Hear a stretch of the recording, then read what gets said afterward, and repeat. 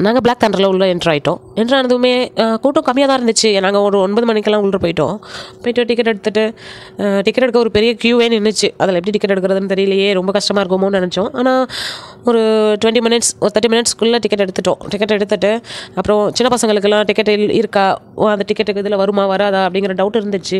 எங்கள் கூட வந்த ஒருத்தர் வந்து எங்களுக்கு ரொம்ப ஹெல்ப் பண்ணார். அவர் அழைச்சிட்டு போயிட்டு பிள்ளைங்களுக்கு ஹைட் வைக்கிற ஸ்கேல் இருந்துச்சுங்க அந்த ஹைட்டு வச்சுட்டு எவ்வளோ ஹைட் இருக்காங்கன்னு செக் பண்ணிக்கிட்டோன்னா அந்த சின்ன குழந்தைங்களுக்கு டிக்கெட் இருக்கா இல்லையா? அப்படிங்கிற டீட்டெயில்ஸ் நம்ம தெரிஞ்சுக்கலாம். மேக்ஸிமம் வந்துட்டு சின்ன ஒரு மூணு வயசுக்கு கீழே ஒரு அஞ்சு வயசுக்கு கீழே இருந்தாங்கனாலே அவங்களுக்கு டிக்கெட் கிடையாது. அஞ்சு வயசுக்கு மேலே இருக்கவங்களுக்கு தான் டிக்கெட்டு அதில் என்ன போட்டிருப்பாங்கன்னா பத்து வயசுக்கு மேலே இருக்க எல்லாருக்குமே டிக்கெட் உண்டு. பத்து வயசுக்கு மேலே இருந்தாங்கன்னா அவங்க பெரியவங்க லிஸ்ட்டில் வந்துடுறாங்க.